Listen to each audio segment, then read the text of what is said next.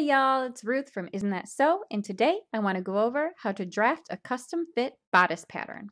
Now, this is the front pattern. So let's start using our L square and we'll draw in a nice right angle. Okay, now we're going to mark the center front neckline to the waist. My measurement was 15 inches, so I'm going to go ahead and draw a little hash mark there.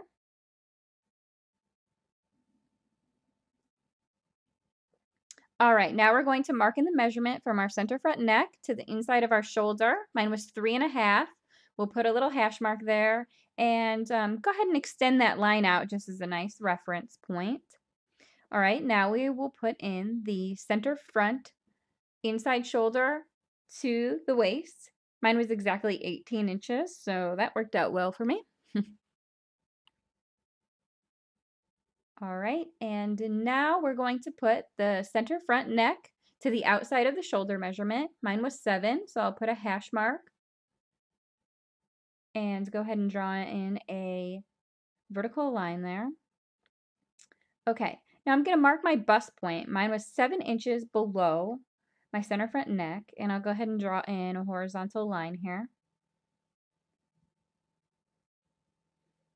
All right, and now my Center front to my side seam is 10, so we'll put in 10 and draw a hash mark. And now you're going to mark the waist. I was exactly 8. And again, draw a hash mark. All right, now what we need to do is draw in that diagonal measure measurement from our waistline to the outside of our shoulder point. Mine was exactly 18, so once again, that worked out quite well. Go ahead and put a hash mark in that spot. That's going to designate the slope of our shoulder seam. And now we're going to draw in our side seam length. Now, my side seam length was about 8 inches, which happened to fall right in line with my bust measurement. That may or may not be the case for you. Either way, it doesn't matter. You're just going to go ahead and mark that measurement because odds are you might be changing it later after we sew up a muslin. So now we're going to go ahead and connect the dots. Let's draw in our shoulder seam. And now using our French curve, let's draw in our neck measurement. And you kind of just line this up just so um, so that way the center front is on a right angle and there's that horizontal line there anyway. So that's going to go ahead and make that shape there for you. And draw in your armhole. And you know, watching this video, my armhole looks a little goofy. Now, it probably wouldn't look like that in my final pattern. Just um, bear with me, guys. Maybe I was a little nervous while I was drawing. No.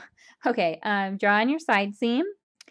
And there you have it we have created our front bodice pattern.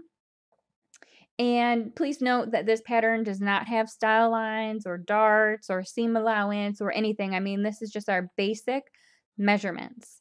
So we will learn how to draft the back pattern and how to add darts and style lines and all that in follow-up videos. So thanks for watching.